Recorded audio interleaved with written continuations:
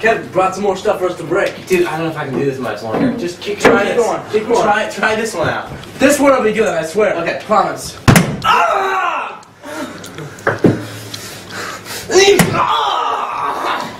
No, Keep guys, going. Okay. guys, guys, wait, wait, wait, wait. Why don't we just get breakfast breaks? It's a great idea. Yeah!